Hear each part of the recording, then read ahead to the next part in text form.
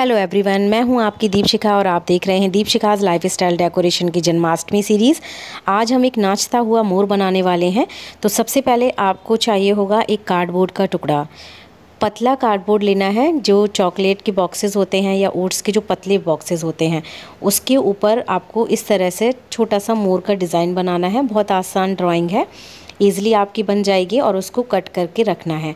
Same उसी cardboard को ऊपर और दूसरे के ऊपर रख के आपको उसी की नाप का दूसरा कट करके रखना है, जिससे कि जो मोर का आगे का आकार होगा, उसमें थोड़ा मोटापन आ जाएगा। अब इन दोनों को हम एक साथ फेविकॉल से चिपका देंगे।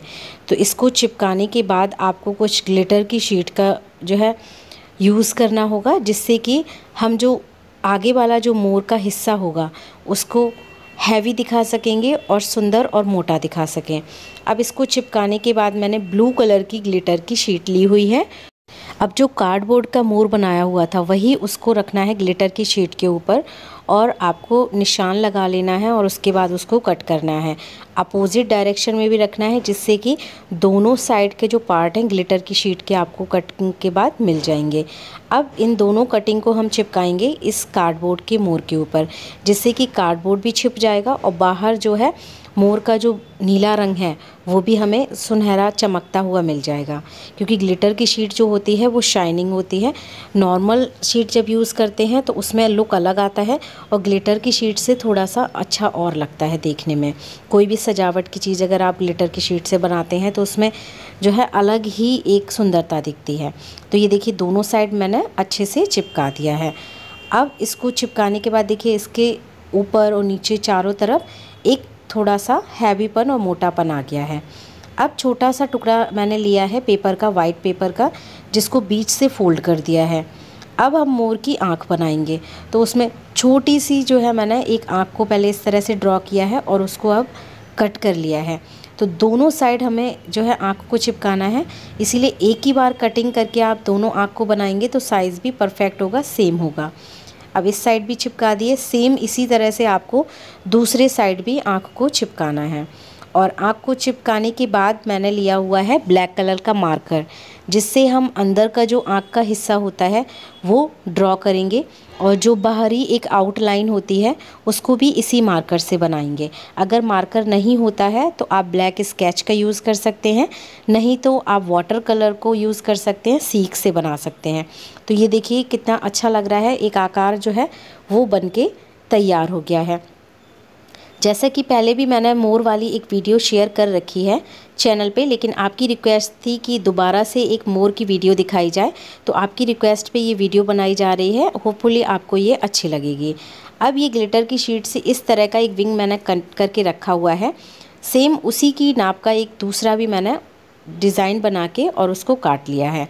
तो ये देखिए खुले हुए पंख बनाने हैं, क्योंकि जब मोर नाच रहा होता है तो उसके पंख हवा में फड़फड़ा रहे होते हैं और खुले हुए होते हैं। तो ये इस तरह से आपको कटिंग करके और दोनों साइड चिपका देनी है। तो सबसे पहले मैंने सिल्वर कलर की जो ग्लिटर की शीट है, उसके पंख बनाए हुए हैं और उसको कट करके दोनों में चिपका दिया है। अब आगे जो उसका मुँह है, उसमें मैंने गोल्डन कलर की ग्लिटर की शीट को कट किया है और दोनों साइड जो उनकी चोच है, उसमें इसको चिपका दिया है, जो अलग से देखने में लगेगा कि ये इसका मुँह का हिस्सा है। अब फिर से गोल्डन कलर की ही ग्लिटर की शीट ली है, जिसको फोल्ड करने के बाद मैंने कुछ एक कमल की पत्ती की तरह डिज़ाइन बनाई हुई है। अब इसको कट करेंगे। तो जो ग्लिटर शीट आपको दिख रही है, सिल्वर कलर की, उसी के ऊपर ही इसको हम चिपकाएँगे। तो ये हमारे जो मोर के कलरफुल पंख होते हैं ना, वो बन के तैयार हो जाएँगे। अभी देखिए, इसके ऊपर दोनों साइड चिपकाना है आपको, क्योंकि ये एक नाचता हुआ मोर दिखा रहे हैं वन साइडेड नहीं होगा। अब छोटी सी कटोरी की नाप की मैंने सर्कल बना के और उसको इस तरह से कट कर लिया है, और ग्रीन कलर से पूरा मैंने उसको पेंट किया है। अब ग्रीन कलर की ही मैंने ग्लिटर की शीट ली है, और उसमें एक बड़ी सी पत्ती बनाई हुई है।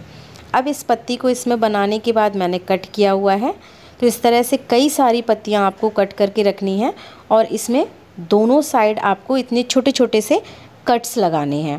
पहले आपको सिंपल कट लगाने हैं दोनों साइड, जब वो आपका कंप्लीट हो जाता है। फिर आपको कैंची को थोड़ा सा तिरछा करके कट लगाने होंगे, जिससे कि जो पंख हैं वो आपको खुले हुए दिखेंगे। अभी ये कटिंग तो कंप्लीट हो गई है, लेकिन अब आप देखिए, ये एक भी आपको खुले नहीं दिख रहे हैं। पर हमें इनके खुले हुए पंख चाहिए हैं। तो अब आप जब इसमें तिरछा कट लगाएँगे इस तरह से तो ये एक एक छोटी छोटी सी जो कटिंग है ना, वो आपको अलग अलग दिखने लगेगी।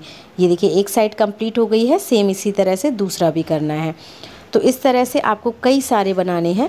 अब बीच में आप येलो कलर की शीट रख सकते हैं और ब्लू कलर और स्काई ब्लू का कॉम्बिनेशन मिला के एक जो मोर पंख होता है, वो पूरा आपको तैयार करना है।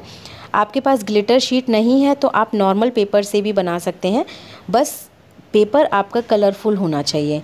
येलो स्काई ब्लू ब्लू और ग्रीन उससे आपका ये बन के तैयार हो जाएगा।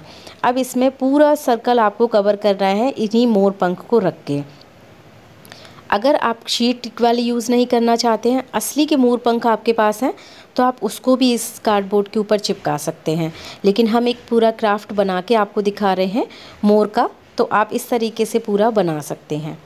अब आगे वाला जो हिस्सा हमने सबसे पहले बनाया था, उसको पीछे वाले कार्डबोर्ड के साथ मजबूती से चिपका देना है और बीच में जो छोटा छोटा सा आपको पार्ट दिख रहा है कार्डबोर्ड का, उसको छुपाने के लिए मैंने गोटा लगा दिया है। अब इसके जो मोर के ऊपर भी एक छोटा सा मुकुट बना होता है, कलंगी बोलते हैं जिसको तो रेड कलर की ग्लिटर की शीट से मैंने ये तीनों बनाई हुई हैं और उसके ऊपर उसका जो माथा होता है, उसके ऊपर चिपका दी हैं। अब इसके पैर बनाने के लिए मैंने बम्बू स्टिक का यूज़ किया हुआ है। दो बम्बू स्टिक रखी हुई हैं और उसके पंजे बनाने के लिए जो ईयरबड्स होते हैं, कान साफ़ करने वाली प्लास्टिक की जो होती है, उसका यूज़ किया हुआ है। तो तीन तीन मैंने देखिए इसके पैरों में चिपका दिया है और बम्बू स्टिक को और ईयरबड्स को ब्राउन कलर कर दिया है। तो ये मोर भी हमारा जो है खड़ा हो गया है और पूरा पंख फैलाए हुए है, पीछे नाचते हुए। तो इस जन्माष्टमी ज़रूर बनाइए, ये नाचता हुआ मोर अपनी जन्माष्टमी झांकी को सजाने के लिए, जो कि देखने में बहुत सुंदर लगेगा। और इस मोर को आप रखिए अपने राधा कृष्ण के पास, अपने कान्हा जी के पास, अपने बाल गोपाल के पास, जो उनको भी बहुत ज़्यादा प्रिय है। और ये देखने में सचमुच बहुत ही आपका सुंदर लगेगा, आपकी झांकी और भी ज़्यादा सुंदर दिखने लगेगी। आगे आने वाली वीडियोज़ भी आपको बहुत ही इंटरेस्टिंग लगेंगी, जो कि सभी आप ही की डिमांड पर बनाई जा रही हैं। अब अगर वीडियो आपको अच्छी लगी है तो जल्दी से लाइक कर दीजिए। साथ में जो सब्सक्राइब वाला आपको ऑप्शन दिख रहा है, उसको दबा दीजिए और नोटिफिकेशन बेल को प्रेस कर दीजिए। और ऑल पे क्लिक करना मत भूलेगा जिससे कि जो भी नई वीडियो चैनल पे अपलोड की जाएगी, किसी भी टाइम अगर अपलोड होती है ना तो आपके पास नोटिफिकेशन आ जाएगा। आप हाथों हाथ उसको देख पाएँगे। तो कोई भी वीडियो आपकी मिस नहीं होगी और आप जन्माष्टमी झांकी को बहुत ही आसान तरीके से बना के तैयार कर सकते हैं। चैनल पे बहुत सारी वीडियोस आपको पहले से मिल जाएँगी कि गोकुल गाँव को किस तरह बनाना है।